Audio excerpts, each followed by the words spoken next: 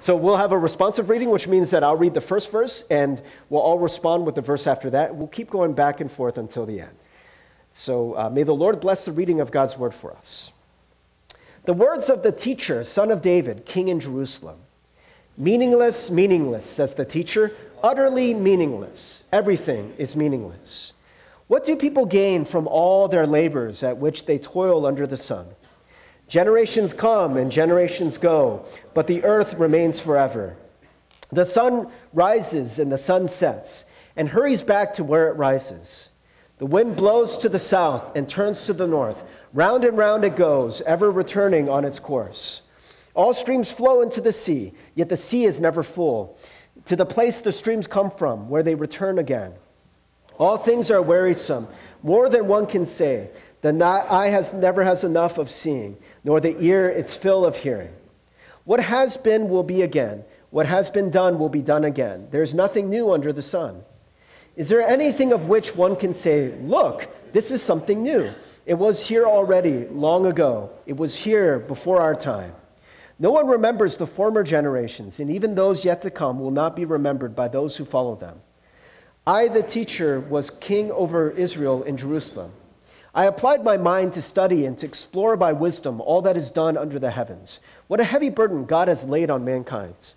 I've seen all the things that are done under the sun. All of them are meaningless, a chasing after the wind. The word of God for the people of God. Thanks be to God. Amen. You may be seated. Well, friends, we are continuing in our sermon series, uh, Truth Is, and today's sermon is called Wind Chasing. And uh, we kind of started off this sermon series talking about how truth isn't always pleasant to hear. Uh, sometimes it can be bitter, like a, a, pill, medicine that we need to swallow. It's good for you, but it's not always pleasant tasting. And I think about um, my dog uh, and the times that I've had to give uh, my dog medication. Uh, and, you know, a dog's not going to swallow a pill on its own. So what you do is you, you uh, hide the pill, the medicine, in something sweet, like peanut butter. Actually, there's companies that make uh, uh, these pill pockets for dogs, and, and they're, they're covered in peanut butter. So, yeah, they, they actually make these things uh, ready, uh, full, like with peanut, peanut butter, and you just stick the pill in there, ready to go. And so the dog doesn't even know that they're getting something good for them because they're just so busy chewing on the peanut butter. And uh, my wife, who's a social worker, and her job oftentimes is to tell people uncomfortable things. She was telling me of this tactic that they learned in school where you don't want to just come out with that uncomfortable truth that's going to make people feel bad. So, what you do is you do like a compliment sandwich, right? So, you say things that are really nice, like you butter them up, like, oh man, you know, like, yeah, you look so good today. You know, I like your shoes or whatever. Um, and then you're like, yeah, we're going to have to take your kids. But you know what? You look wonderful, you know? And so it's like, yeah, uh, you know, maybe that's still hard to hear, but, you know, you do that compliment sandwich thing to try to make it smooth over a little bit. And friends, I got to tell you that today's message is going to be hard in a lot of ways. Um, there's some truth that's kind of uncomfortable. Uh, we are starting today uh, in the sermon series, Truth Is, a study in Ecclesiastes. Over the next four weeks, we're going to be going through Ecclesiastes. And this is a book that does not pull punches. And it is a book that, in, in many ways, can be hard to hear. Uh, there was someone in, someone in LGM uh, a few weeks ago who wanted to talk to me about the book of Ecclesiastes. Coincidentally, I was like, oh, that's so cool. We're actually going to be doing that in our sermon series. And so we talked about it, and after talking about it, uh, that person was like, man, this is really good, but this is really hard. And, and I think that's true. It's really hard to hear. And so a, a lot of this intro is just to say, I don't know if I did a good job of covering this message in peanut butter. some of the things are going to be a little hard to hear. And, you know, I, I got to tell you that some of the things that, that you're going to hear today are things you've probably heard before, but maybe haven't fully ingested in your soul. And so I, I just wanted to say off the top God loves you. You guys look so good today man, you, you, you guys are like the best looking, you know, LGM that we've ever had. I like your shoes. ah, you ready? We're going to get to some tough things. You know, so friends, let, let us begin with a thought experiment. Uh, so for me, oftentimes when I would dream, Uh, not all the time, because a lot of my dreams actually were negative. You know, I dream about like showing up to school naked and, you know, it's, it's very unpleasant stuff. But every now and then I'll have like a really nice dream. You, you guys ever have a dream where like your wildest dreams come true? It's like all the things that you were hoping for would happen, like they happen in that dream. And it feels so real at the moment. You know, like there's those times where that, there's that girl that I had my eye on, I really like. She's out of my league. You know, I already get that sense that I am firmly entrenched in the friend zone. You know, that, that she, you know, has given me these cues that it's not going to happen, but I'm still hoping, still hoping it's going to happen. And in this dream, you know, this person's like, hey, Steve, can we talk? I'm like, yeah, yeah, sure, girl, what's, what's going on? I'm usually much smoother in my dreams than I am in real life. Like, yeah, sure, girl, what's going on? And she's like, hey, I, I just needed you to know that I have always been in love with you. And in that moment, in my dream, I'm just smiling, you know, like I probably, like if you were to look at me, you know, like, like this probably happened a lot when I was in high school and college. You know, there's a lot of these situations where I, had, you know, this eye on a girl who didn't like me, but I was really hoping it would happen. If you were to look at me in that moment, I'd probably be smiling. Like, oh, like in that moment, like, man, my heart is bursting. I'm like, yes, yes, this is so good. Or I've had this other dream. Uh, so there was this time where I was writing a novel.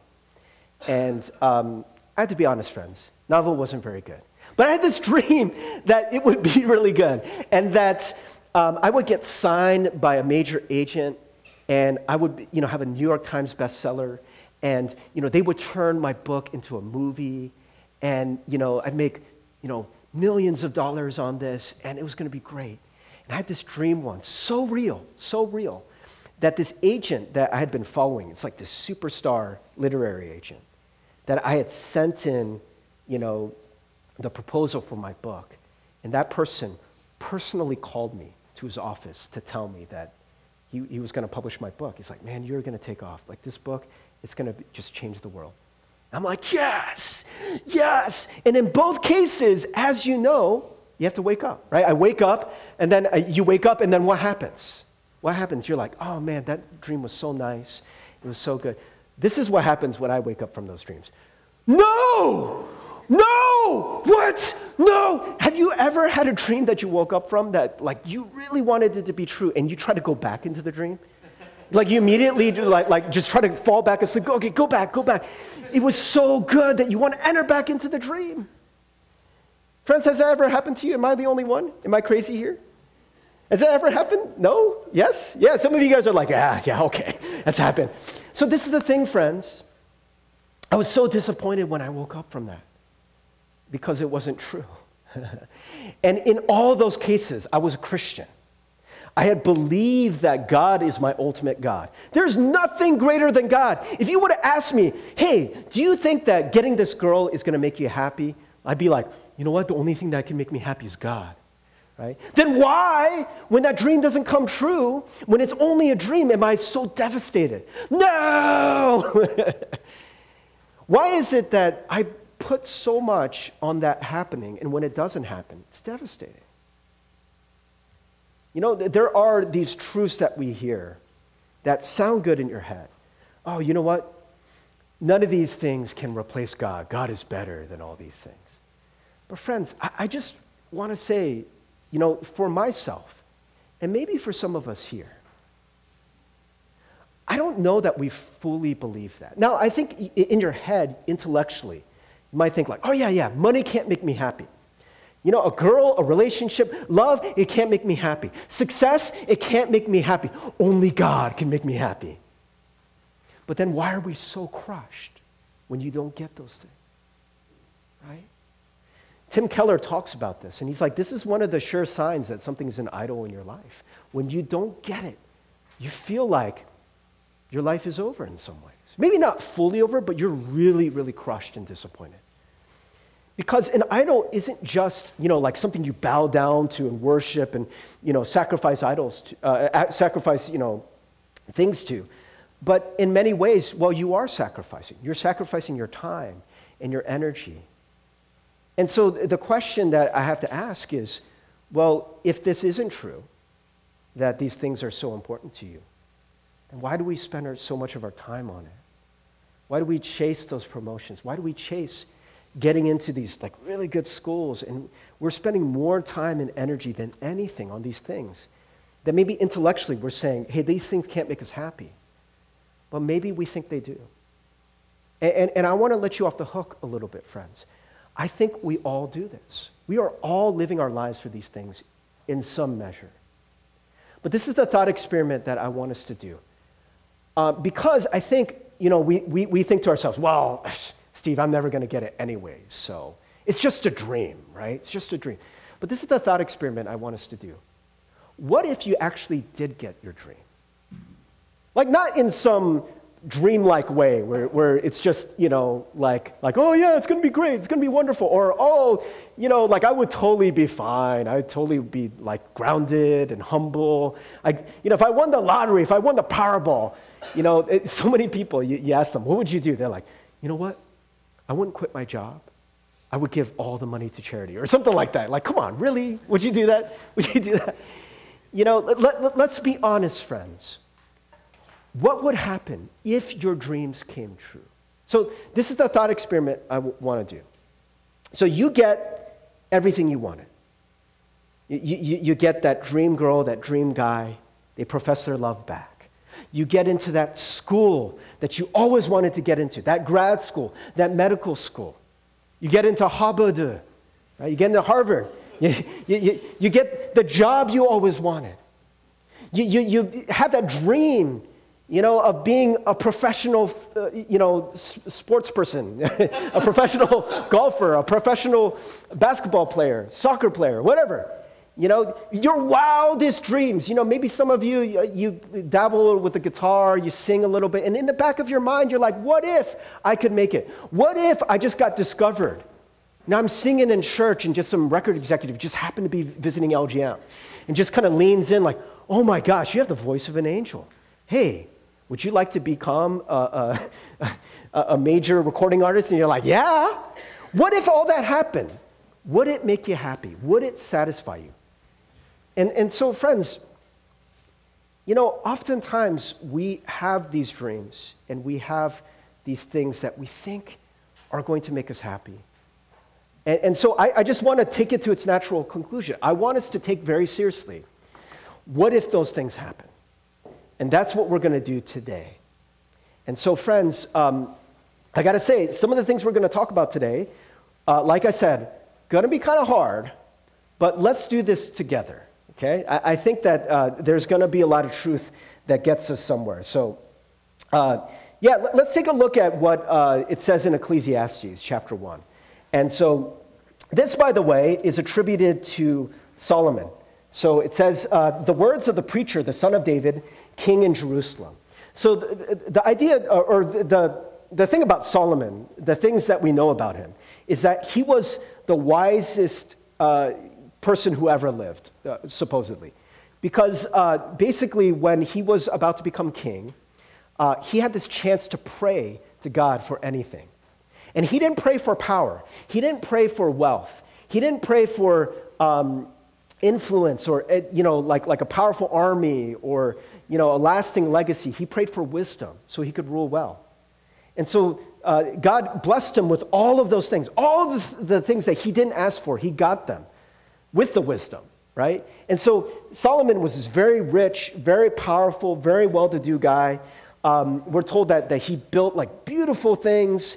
Uh, he, he, had a, a very powerful empire. He was super rich. He had something like a thousand wives and concubines that, that he just had every pleasure you would ever want. And these are the conclusions that, that, uh, that Solomon comes to towards the end of his life. And so it says, Vanity of vanities, says the preacher.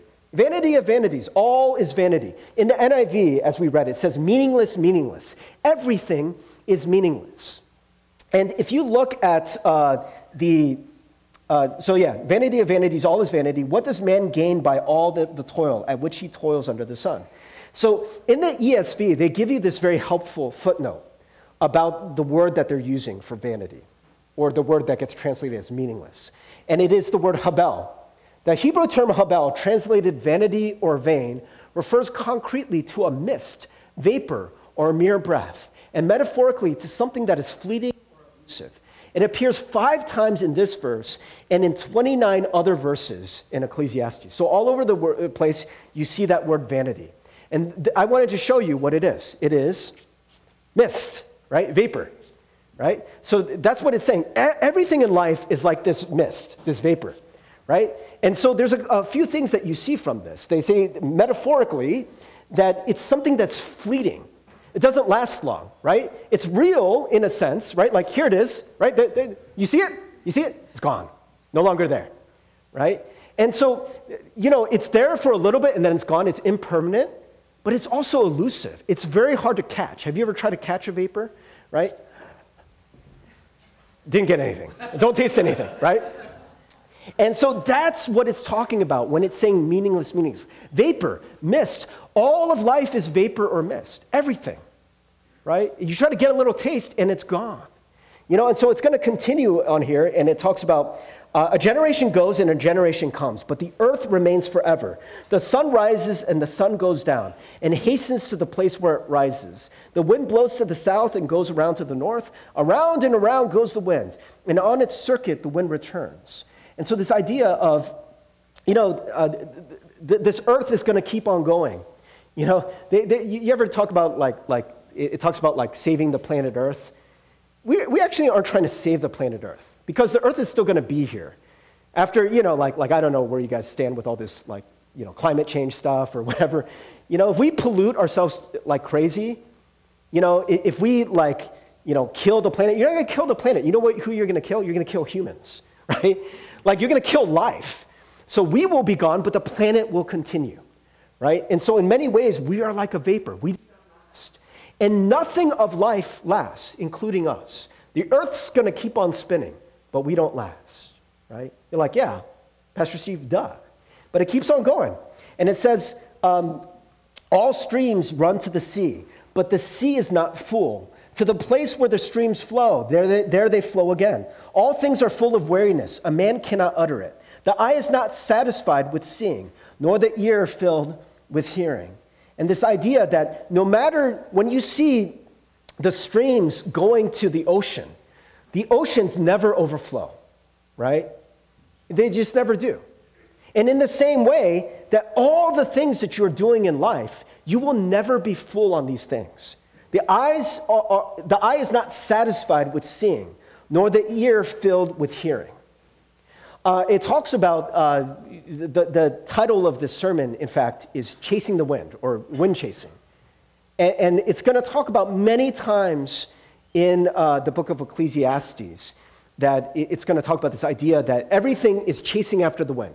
Whenever uh, the teacher talks about something that he thought was going to satisfy him, pleasure, or, you know, um, th- there was, um, you know, uh, like building great things, a big legacy, wisdom, all the things in life that we think are going to satisfy us, that he says that it's a vapor, it's meaningless, right? It's just here today, gone tomorrow. And it's like chasing after the wind, is the way it gets translated often. Or in, in the, the ESV, striving after the wind. But there's also a very helpful footnote for what that word in Hebrew means. And so they're trying to help us out because it's kind of weird.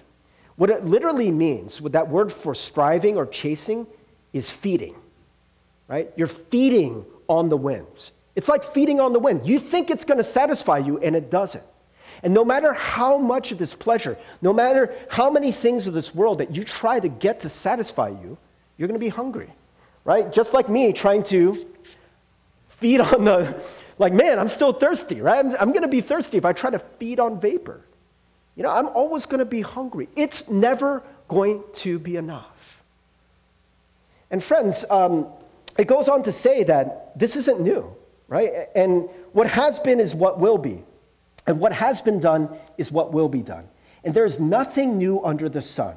Is there a thing of which it is said, See, this is new? It has been already in the ages before us. There's no remembrance of former things, nor will there be any remembrance of later things, yet to be among those who come after. And so some of us are, it might be thinking, you're like, yeah, but Pastor Steve, Solomon didn't have internet. Right? Solomon didn't have the iPhone. Of course, there are new things. Right? And this is the thing Solomon actually was an innovator. He built bigger buildings than other people built, right? He came up with new things, you know, but he's saying, you know what? There's nothing new under the sun. Because he's not talking about the things themselves, right? The, the whole message is chasing after the wind. It's elusive. You can't get it. But the thing with Solomon that we're going to see, and this is why the thought experiment is so important, is that chasing after something, a dream, is so seductive and so misleading because in many ways you will never get to verify it. You're always going to be chasing it. Your life will be busy if you're trying to chase after a win because you'll never get it. So th- then the question is what if you do get it? And for Solomon, he actually did get it, right? He got all the wealth he could ever want, he got all the women he could ever want. He got all the pleasure and food and wine and influence and power and all the things that he could ever possibly want. And he says, it's not satisfying. It's like chasing after the wind. So, what is the wind then? What is it that he's chasing after? Is it the things? No, because he actually got the things. It's the things, it, it's what those things represent, what we think those things are going to do for us. And what we find is those things will never satisfy, they will never fill you up. And so that is not new. We may come up with new things, right? New inventions, new ways of living. Right now we're getting like virtual reality and stuff. And I remember when I was younger, like we would dream about virtual reality. And maybe some of you, you're like, oh, that's so cool. Like, oh my gosh, like virtual reality, that's gonna be the new thing. Man, if I could get a virtual uh, reality headset, that's gonna be the best entertainment. Some of this other entertainment that I saw, not that fulfilling, but oh, the virtual reality, that's gonna be great.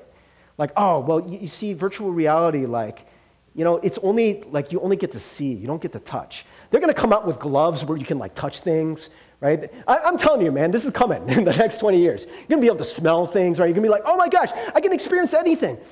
Friends, I gotta tell you, no matter what they come up with, Solomon is always gonna be, tr- uh, always gonna be right. This is always gonna be the truth. No matter what we come up with underneath the sun, it will never be enough. It will never satisfy you. You will never be full on that. It's always gonna be a chasing after the wind. Existentially, we will not find meaning in those things. And there's a reason why. Um, and, and so it, it goes back to the idea that these things are fleeting and impermanent, and they are elusive. They will never fulfill you. So, friends, uh, let's go to modern examples, right? So, you know, it, nothing is new under the sun. This has been done before, and it will be done again. And this story, friends, is one we keep playing out in our culture again and again and again. So uh, you might have heard of this guy, Magnus Persson. Have any of you guys heard of Magnus Persson? Uh, so maybe you haven't heard of him, but you've heard of his, uh, his main product, which was a game called Minecraft. Minecraft is a huge game.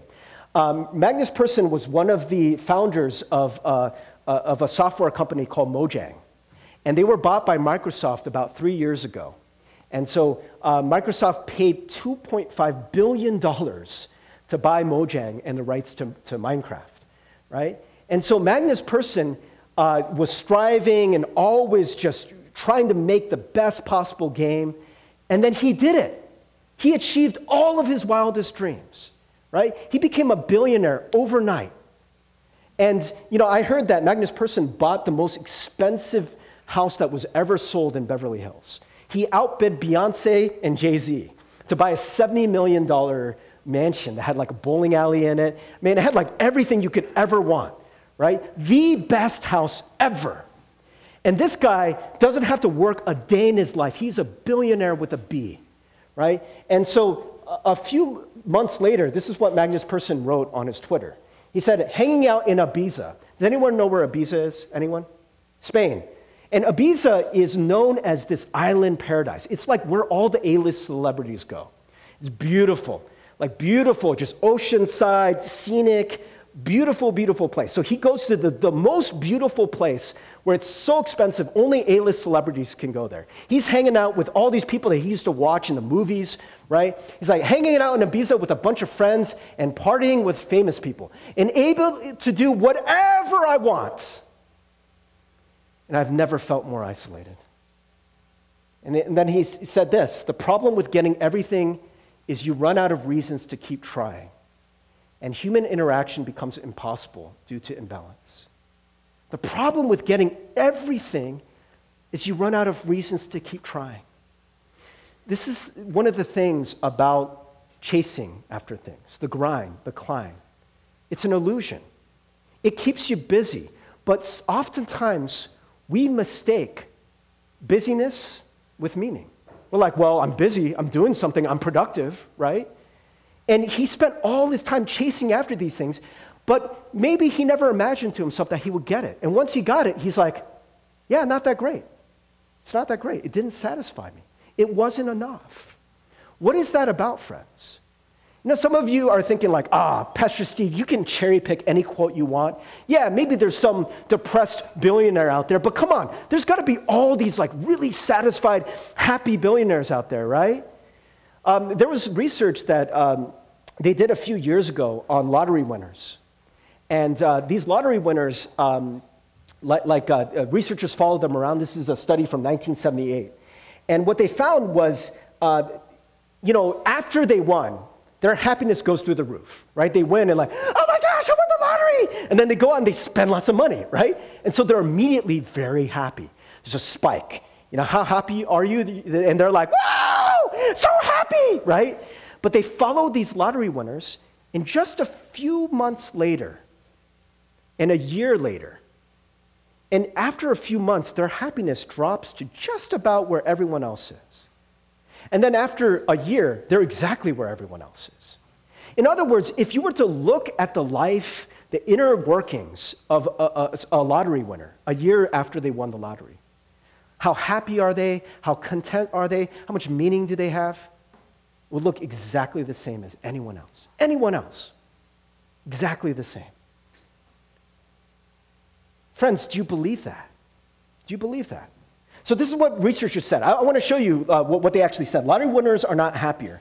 And so, th- this is what, what, what their findings were. They said eventually the thrill of winning the lottery will itself wear off. If all things are judged by the extent to which they depart from a baseline of past experience, gradually, even the most positive events will cease to have impact as they themselves are absorbed into the new baseline against which further events are judged.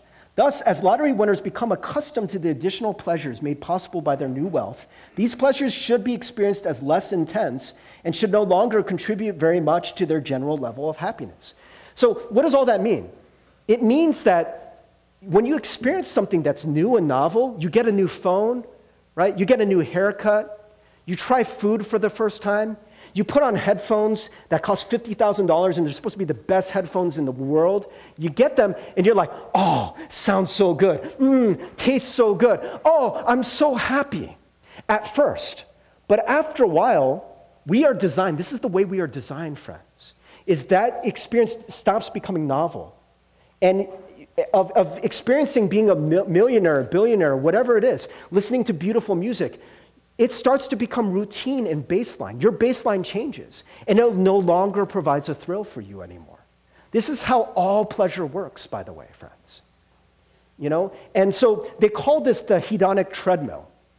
The, this idea that you get pleasure and you keep trying to get that pleasure, and you get pleasure, and you're like, man, I'm so happy and fulfilled, and this is so wonderful. But after time, you go back to where you were before right? And we know this is true because no one has ever experienced a pleasure. This is what Solomon is saying by there's nothing new under the sun.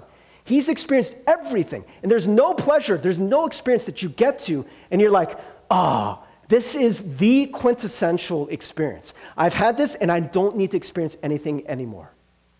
Even billionaires, they get bored, they get listless. They get these things that make them happy, and then do they stay happy forever? No. It's not the way it works. In a lot of ways, we are fooled by something that is very easy to make this mistake. Because, friends, I, am not saying that these things don't make you happy.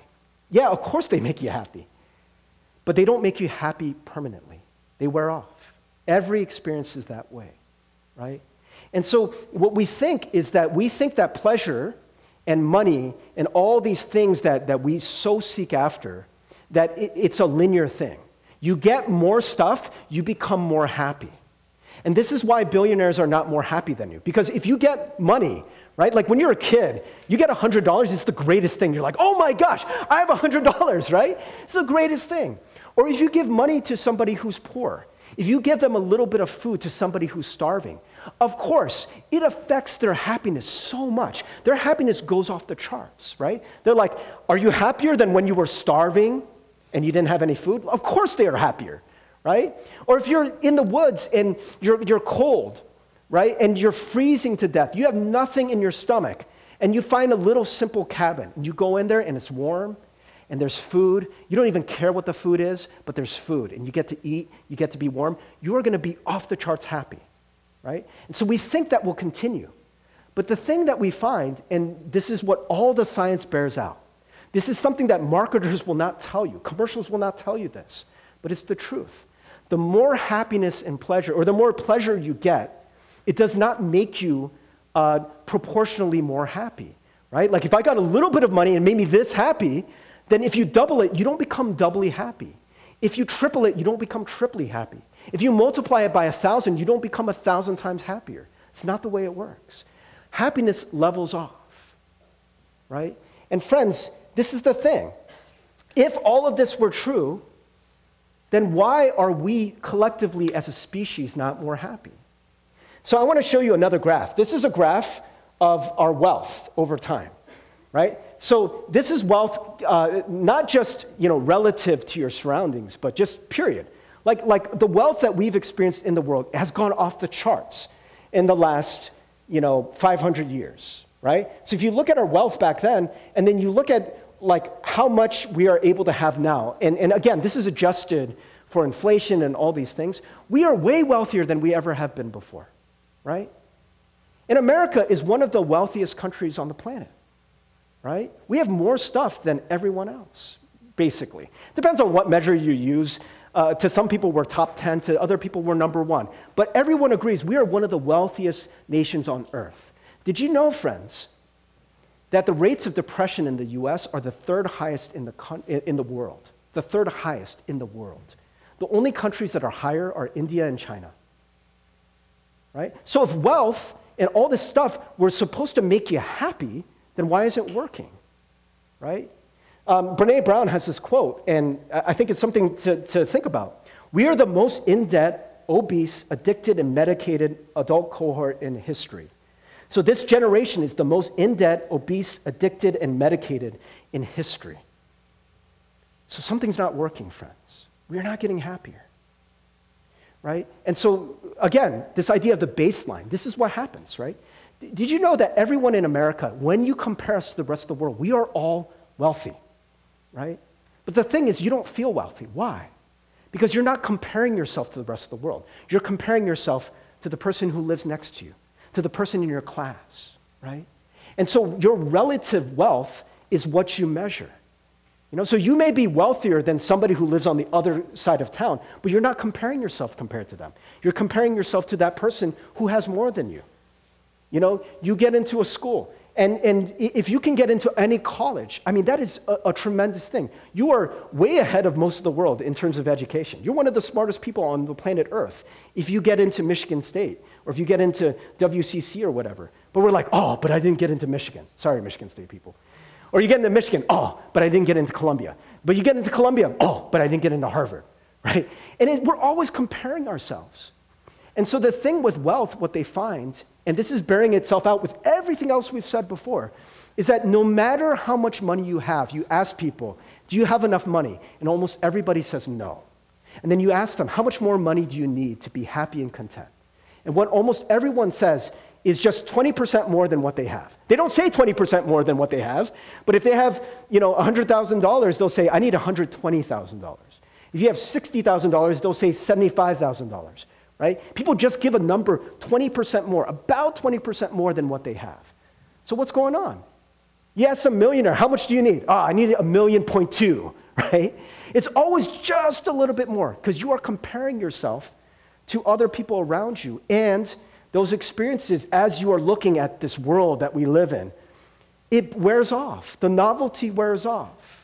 You get that car, you're so happy to get a car. Then you look down the street and somebody's got this nice new Lexus. You're like, well, I don't have a Lexus. I have a car, but I don't have that car. You know, that car's newer than mine. And all these things wear off. I want to tell you about Dave Mustaine. Do you guys know who Dave Mustaine is? Um, so, Dave Mustaine is a very, very wealthy and very, very famous person. Here's a picture of him on the end. That's Dave Mustaine on the far right. And so, uh, my story is titled "Dave Mustaine: A Failure?" Question mark. So, Dave Mustaine was the lead guitarist for a, a, a, a thrash metal group in the early 80s. So the year was 1983, and this band was about to be signed to a major label. Dave Mustaine was a guy who, you know, ended up being in a thrash metal group, right? Like, like, like it was like borderline satanic, you know. And it's kind of funny because he grew up in a very restricted religious environment. His parents were, um, uh, what do you call it, uh, Jehovah's Witnesses, and uh, he wasn't allowed to listen to music, like, like any modern music. And so he rebelled from his parents in the most wild way possible, and he joined a metal, a thrash metal band, right? And Dave Mustaine, you know, just decided to himself, you know, I've been deprived of all this pleasure. I'm just going to go for it. And so he lived this uninhibited lifestyle. He had all this bent up anger from his childhood that was never dealt with. And so he not only experienced life, but he just, like, like he was angry as he did it. And so he was frequently drunk and high, as many people in these metal bands were at the time. That wasn't new, but he was an angry drunk. Uh, and so it got uh, to be a really big problem because he would pick a fight with anyone that, you know, just got in his way. And it became such a big problem with his band that one morning, uh, they, were, uh, they were days away from being signed to a major record label. They were just about to uh, record their first album. They had gone to New York to record this album. And so they woke him up early in the morning and they said, Hey, you got to go. And he's like, What are you guys talking about? He's like, You're out. You're out of the band. They packed his bags for him, and he's like, What? No warning? They're like, No, man, you got to go. No second chance? No, you got to go. And so he's like, Okay, well, you're going to take me to the airport? They're like, No, you're not going to the airport. They put him on a bus and they sent him back to Los Angeles, right? And so he had to drive across the country on this bus or ride on, on this bus uh, for four days. And the whole time he's stewing, he's like, oh my gosh, I can't believe they did this to me. He's so angry at, at, at his bandmates. He's like, you know what? I'm going to live to show these guys that they made the biggest mistake. Right? So over that four days, he started plotting his revenge, that he was going to come out with his own band that he was going to make more money than them, become more successful. He's going to write better songs. He wrote all these songs on that bus ride home. And one of the songs he wrote, he came up with this, this phrase that sounded really metal. It was called Megadeth. He's like, oh, that's a great name for a band. So he named his band Megadeth.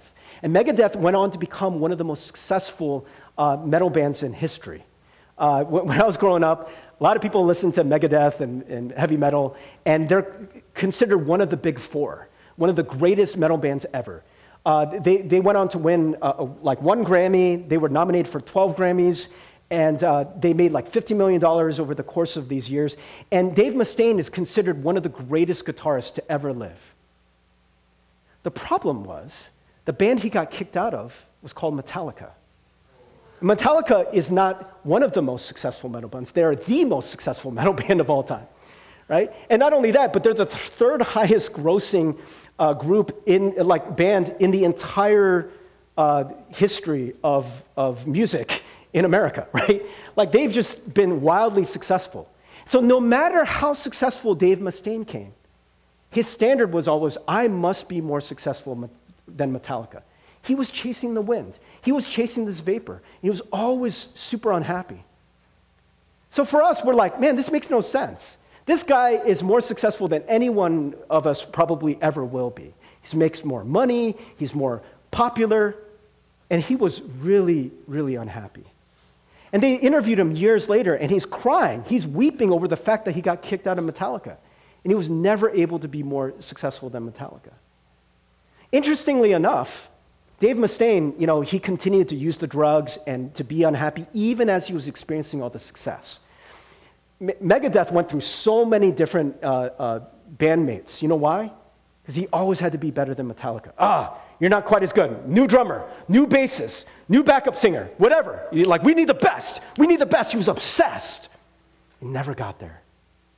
So one day, his life is broken. I mean, he has reached the pinnacle of music, but he's not better than Metallica. And he's thinking to himself, what am I doing with my life? He's like, I've tried everything. I've tried drugs, tried music. This is a true story. One night, Dave Mustaine decides that he's going to pray. And he's like, I've tried everything else.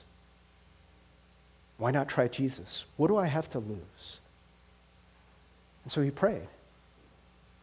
And Jesus came into his life. And what Dave Mustaine says now, looking back on his career, he says, What Jesus has given me is the one thing that all of the other things could not give me. It's true peace. And one of the things that actually happened after this is that he reconciled with Metallica. Um, he's gone on stage with them, he's performed with them, and he said that I've never been more happy than I am now. I've never been at more peace. Friends, this is a very common message that you hear. And friends, maybe for some of us, and you know, I, have been saying that even as a Christian, you know, that just following God didn't automatically make my life better. But the thing is that God, you know, God is great in everything. But the problem is that we set these goals and we hang our hat on an event, on a thing, on, a, on something, a goal that is going to make you happy. And all of those things will necessarily disappoint you. And the problem is in goal setting, period. Remember uh, the story about the guy who uh, made Minecraft, right? He's like, part of the problem is once I got to the goal, there was no more th- thing to live for. I got there, and then all the coolness and all the novelty of that, that thing that I was chasing, it wore off. Now what? Now where do I live my life? Now what am I striving for? And that is exactly what it's talking about in, in uh, Ecclesiastes this idea of chasing after the wind, something that you were always chasing. So it says here, I, the preacher, have been king over Israel in Jerusalem, and I applied my heart to seek and to search out by wisdom all that is done under heaven. It is an unhappy business that God has given to the children of man to be busy with. Why is it an unhappy business? You're never satisfied. It's never enough. You're always going to be unhappy because you're always seeking for something that never gets realized. It's just a chase, one chase after another, after another, after another. And he said, I have seen everything that is done under the sun, and behold, all is vanity, vapor, mist. It's a chasing after the wind. You're going to keep trying to chase it, you're going to keep going after it. It's never going to be enough. And every time you get it, you're going to say, Yay! And you're going to feel happy for a little bit. And then a few days later, a few months later, you're going to say, Now what? What do I live my life for? And this is Christians included. If for you, Christianity is just one more experience in this life that we get to, and we say, okay, that's going to be it. I accepted Jesus in my life. Yay! Well, yeah, that's great. And God is eternal, but we are not. Our ability to be able to receive the grace of God, that is not something that is going to last forever on this plane of eternity. Why? Because we are not eternal. Your stomachs are not eternal. There's nothing new about us. We're the same human beings as we're going around in Solomon's time. Even religious experience, it will wear off. Do you guys remember um, when the Israelites were wandering in the wilderness? And they had this wonderful gift called manna. You guys remember that? So manna was like, it was like bread from heaven. Right? Just in the morning, there would be these sweet flakes that would be on the ground, just a miracle. They're wandering in the desert. There's no food around. But every morning, they have manna. They're like, oh, this is great right? And they would eat it, but God would tell them, You only have enough manna for this day. Only enough manna for this day. And so some people, they would try to cheat, and they'd be like, Well, you know what? I'm going to store a little extra manna. What if God doesn't provide tomorrow? I got to make sure I have enough. Or, oh, what if I just get a little more hungry tonight? I just need a, a, a, snack. And so they would store up more manna, and what they would find is in, in the morning it would rot. It would all rot. The manna would go away. It would be no good after the day. Every day they would need to come back and get the manna again and again and again. Now, friends, God is eternal, right? God's grace, the blessings of God, these things are eternal things. But the way you experience them is daily. Your experience of God is something that cannot last just from one experience. In other words, friends, just because you accepted Jesus Christ at the age of 12 and that's all you did, that is not going to last until the day you die. Because, by the way, you got to live for something. What are you going to do then? What are you going to do for the rest of your life? You got to do something. And so there's a clue in Scripture. There's clues all, all around in Scripture. But one of the things that Solomon realizes is, you know, the thing that is eternal, right? Because part of the problem with mist and vapor is it goes away, it's not permanent. The one thing that is eternal is God. So the answer lies in God, but it must lie in what He is giving you, the kind of life that He wants you to live. Those are the things that are going to be most worthwhile. So I want to show you, friends, uh, Isaiah 9. This is one of the most famous passages that talks about, um, it gets quoted in the New Testament when it refers to Jesus. This is the prophecy of the Messiah the king who is going to come rule forever. And so, uh, some of this stuff you, you might recognize if you've read the Gospels. It says, The people who walked in darkness have seen a great light. You have multiplied the, the nation, you have increased its joy. For to us a child is born, to us a son is given. And the government shall be upon his shoulder, and his name shall be called Wonderful Counselor, Mighty God, Everlasting Father, Prince of Peace. So we have a king that will reign forever. That is the promise of the Messiah. And then it goes on to say this. Uh, uh, th- this is also in the Gospels, uh, but it, it's from Isaiah 9 7. It says, Of the increase of his government and of peace there will be no end. NIV, which some of you guys know, I don't, I think the NIV, they translate to, or they, they interpret when they should just be translating. Uh, the ESV translates that word increase as what it is increase. But the NIV is like, man, what does that mean? So, what they, they say is the greatness of God. But the problem with that translation is it gets rid of the process. What is the increase of government? What do we talk about when your money is increasing? not just great, it's increasing. It's getting more, right? Your joy, it's increasing. It's not staying stagnant, it keeps going up and up and up and up. Of the increase of his government and of peace, there will be no end on the throne of David and over his kingdom, to establish it and to uphold it with justice and with righteousness from this time forth and forevermore. The zeal of the Lord of hosts will do this. So, friends, it's kind of cool. How have we been designed as human beings? Nothing is ever enough for you, it will never be enough. There's always going to need to be a novel experience. This is part of human brokenness, it's part of the human condition. It's the way you're designed.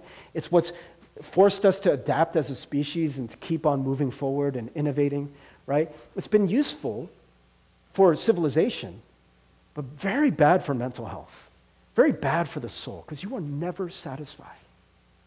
And it's kind of a cool thing to think that the government that Jesus is establishing, that will continue into eternity, is not a stagnant government. Government. It's not a stagnant rule. What do we hear about the kingdom of God? It will keep on increasing forever. In other words, friends, the reign of God is the one thing that you will never get sick of. It keeps getting better and better and better. Think about what the reign of God is it's about seeing more of God's rule and reign in this world. You may see the kingdom of God when enemies like Dave Mustaine and the members of Metallica, when they reconcile. What is that? Kingdom of God, reconciling of enemies. When you see people start to let God rule in their life, start to become the one that they come to as the source of all joy. You're not seeking for these things that will never satisfy. What is that? That's the reign of God. That's the kingdom of God. When you start to see people work for the wholeness, the healing of this world, you see brokenness. You see starvation. You see people who don't have enough, people who are poor. When you go to St. Andrew's and you feed people, what is that? It's the kingdom of God in action. And this kingdom will know no end. And it will keep getting better and better and better and better. and in your life as well. Is God fully reigning? Is God fully reigning in my life? I'm Pastor Steve. I'm a big deal. I've been living this Christian life for a long time. That's not how I talk, but let's just pretend for a moment. You know, I think I'm hot stuff. I think I'm this great Christian. Have I arrived? You better believe that I have not arrived, friends. I'm still learning about the reign of God in my life. There are still areas of my life where I need more Jesus. I need more of Jesus' reign. I need more of Jesus' peace. And I got to tell you, as I'm learning more, it gets better and better and better and better and better. Yeah, it's one of these things that it will know no end. And that's one of the beautiful things about the kingdom of God. And, and it goes on to say, to establish it and to uphold it with justice and with righteousness from this time forth and forevermore. Have you ever thought about that word? Forevermore. It's a weird, weird word because forever just means keeps going. But what is more? Better and better and better. Forevermore. That's the kingdom of God, friends. It is the one thing in this world. Everything eh, else in this world gets old. I think I've talked about this before, but I got very disillusioned about cell phones. You know, I, I, you know, like a cell phone, it's a tool, whatever, it's great. But you get, cell, you, know, you get this iPhone, you're like, iPhone 7, there will never be a better phone. I heard that they plan like five models ahead of time. They're planning the obsolescence of your phone, right? They're like, oh, this is the best iPhone we've ever had until next year's model, until the iPhone 8, until the iPhone 9, until the iPhone 10, until the iPhone 11. It will never end. That thing will never satisfy you. It will never be enough. It will degrade. It gets old. There is nothing new under the sun except the thing that isn't under the sun the kingdom of God that came from heaven to earth and is now in breaking. Remember, this is Old Testament, right? Nothing new under the sun until what happened? Jesus came down under the sun. Under the sun. now the sun is here with us. And now we have a chance to let God's reign in forever more. Forever and more. So, friends, um, I just want to close with this thought of what are the things we are seeking? You know, what is your life going to be worth living for? So I started this, this uh, sermon with a thought experiment. What if you got all the things you wanted? And I, I tried to you know, call us out a little bit to say, hey, let's not kid ourselves. You may think it's not the most important thing in your life, but you're spending more time on these things that will not satisfy than you are on the things that will. Let's just be honest. We're spending more time on our careers and school and all these. I'm not saying that that's a bad thing, but let's just be honest, right? This thing will not satisfy you, yet you are spending almost all your time on it. And then I hear people who say, like, like when we talk about spiritual disciplines and spending time with God, and then people say this Pastor Steve, I have no time. I'm like, it's not that you have no time, it's that you're not making time. It's that you've spent all your time on something impermanent and you have dedicated no time for something that is. And so, one of the things that I had to get to in my life, and one of the things that we learn about dreams and goals, is until they can be touched, you still can believe the lie. Maybe if I get it, it's going to satisfy. Everyone tells us, Solomon, all the people have come before us. They say, Hey, I got to the mountaintop. It's not all that. I touched it, and it immediately was vapor, disappeared. And then there was a new thing to touch, a new thing to get to. It was never enough. Friends, when are we going to start believing that fully and start living into the eternal things? And so for me, I got to a place in my life where I'm like, yeah, you know, I keep thinking, you know, my church gets a little bit bigger. If I can have more influence, maybe I can write books. Maybe I can be like John Piper or Tim Keller or one of these people. Then that's going to be enough. But one of the things I needed to realize is it's never going to be enough until I let God reign fully in my life.